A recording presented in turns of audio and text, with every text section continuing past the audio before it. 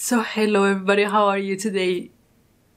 If you are creating custom themes for Power BI using the JSON file, you know how hard that can be, right? So it is difficult to find documentation for the JSON file.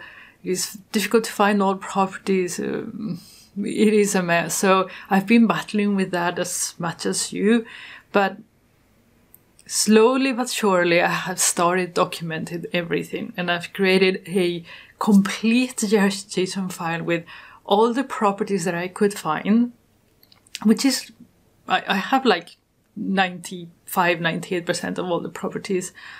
And not only that, I've also created a report, a Power report that documents everything, allows me to create those JSON files a lot faster, a lot easier. And I have actually packaged everything and made it available for you to purchase. So if you're interested in those files, if you are creating JSON themes, go and take a look, continue looking into this video because I'm going to show you what those two products do and how they can help you create JSON files easier. We need that. Okay, so continue watching. I hope you enjoy it and give me some feedback in the comment box as always. So I'll see you later. Bye bye. So hello and welcome. In this video I am going to do a quick tour of how the JSON theme guide looks like and how you can use it to modify or customize your JSON file for Power BI. Okay, so I am on the Power BI desktop. It means that to um, go to a link, I need to control click, right? So the first part is the search by visual. It says here that you select a visual on the slicer, right click on the label you need more information about, and then drill through to the property tab. So we're going to control click, and this will take you to the first tab, which is the labels tab. And as you can see here, I have all the visuals that I have configured and created property for, the ones that I found information about. So for example, if you click on the matrix, here you will see the JSON name for the visual, which is pivot table. And then here you'll see a list of um, the labels that are available uh, both in JSON and Power BI. Let me show you what that is. If we pick table first, and I go here to visualizations, this is a table, right? So now it's showing us the labels for a table. So if I go here to the format pane, you see general style, grid, grid, column headers. They are all the labels. These are the labels. This is what they call labels on the JSON file. They are here on our Power BI file and they are in order also. So it's easy to find. So whatever you want to find here, it is easier to find it here. Now, let's say that we want to configure something about the grid for this. So the only thing you need to do is right click and read through to properties and it will tell you take you here. I have this hidden because this is a through page, but you can change that once you purchase the file. So what you see here is properties for table, visual, and grid, just so you know where you are. And these are the properties that you can set for grid. So now these are this is a matrix and this has the properties for a table. So let's go back so I can show you what this is. We're going to pick a matrix Again, pick grid. And now if I choose here, this is matrix, visual, and grid. So we go here, matrix, and grid. Here you see vertical grid, grid color, grid thickness, everything is in here. Again, is in order. So the order that is in here, you have it on the table. So here you have the Power BI property, here you have the name for JSON, for the JSON file. Here you have the description of what it does. And here you have a value for it. So true, false, if it's a color, if it's a number. Let me show you here on, uh, let's see here, column headers. Let's go back. I'm going to show you one thing. If we go to column headers,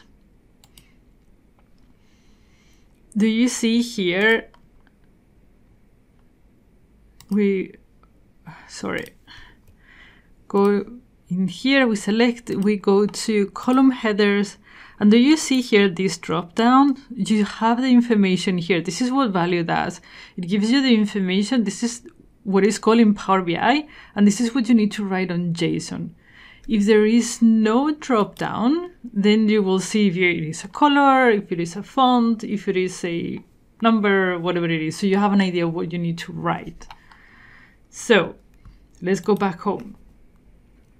Now, as you can see, you go back and forth, and this is good if you're just doing a small change. But let's say that you want to do a big change. This is where the general search comes in mind. So here it says select a visual, label, or property to see which visuals have that property and do bulk editing. So control click because we're in the desktop. And here, as you can see, will allow us to see everything in bulk. So you will go here to Power BI Visual and say, okay, I want to modify bar charts. So we pick all the bar charts that there are. There are three types of bar charts. And here we have all the properties for the bar charts. Now, let's say that you just want to have, I don't know, the legend. And then we just want to modify the font size, text size. So now I know that for this, I have to go to legend, text size, text size, and then this is the font size. So this is where I need to go to change font size on all bar charts. If you want to have font size for all visuals on Legends, here you have which visuals have that property and what it's called. Okay, so this allows you to bulk edit faster. Now let's go back home. There are two more tabs. The next one is fonts. And here it lists the name of the font in Power BI and the name of the font in JSON. It is always the same except for this one. Okay, that's at least what I found. And then here it allows you to, I've used this as a guideline for formatting Power BI. So for example, here it says for titles, use the bold one, for the legends, use this one, and then for the text, used Tahoma.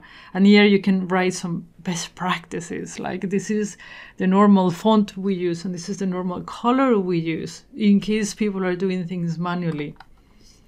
Let's go back home. And the last tab is colors. And here I have listed all the colors for the Curbal uh, theme. You probably have different colors. You will have to modify the file and add your colors.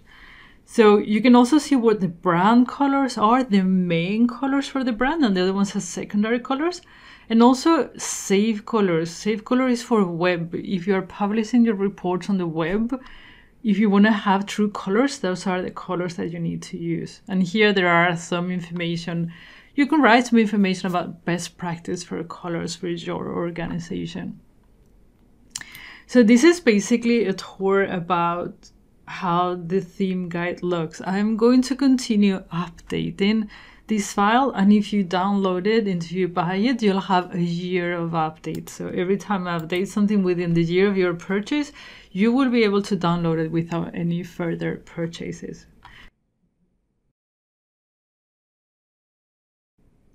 So hello everybody. In this video i'm going to show you how the json theme for power bi looks like so you know before you purchase okay? And there are a few things that you need to be aware of so I'll show them to you here. First of all when you open the file you can use either Visual Studio or Notepad++ or whatever note editor that you want. I use Visual Studio because it beautifies the JSON code makes it easier and I also have installed a plugin called collapse level. I have a video on that. I'll post it down below so you can see it on the same place, place that you found this video that allows to collapse the JSON file and it makes it easier to work with. So if I click Alt F2, you see that it collapses everything at the level 2. If I click Alt 1, it collapses to level 1 it just makes everything much much easier to work with actually and then you can go level 3 level 4 super useful. Now things that you need to be aware of. First of all these settings here apply for the entire report. Same for the text classes same for the visuals all the properties that are on the visuals on the star up here okay? So whatever you have in here it will override the settings uh, the default settings. But if you, for example, here I have the title specified on the visual styles and then you specified on any of the visuals here, they will get overridden by the ones that are, for example, here on the bar chart. If I open it and I go to title and I write a title, I put something in here, it will override the general settings. So you have to be aware of that general settings, local settings, so you don't get confused when you're doing the changes. Now, with that said, you see that I have a lot of properties with an underscore. What that basically means is that I've specified the property in there but it's not enabled. So it is a way to have all the properties listed without actually having them doing something. So a lot of the properties in this file are disabled. So if you want to enable, you just remove the underscore there and also there are in different levels. For example, here I have disabled it, the background color. So you have to also be go here and remove it. So you have to be a little bit aware of what is enabled and what is disabled. But it is a beautiful way to actually list everything and have everything available. So when you want to use it, you don't have to write anything. You just modify what you need. Okay, that's one of the great things. Now, I have 29 visuals specified in here. There are 156 properties, and there are you'll see here this is these are the visual this is the label and then level four is the properties.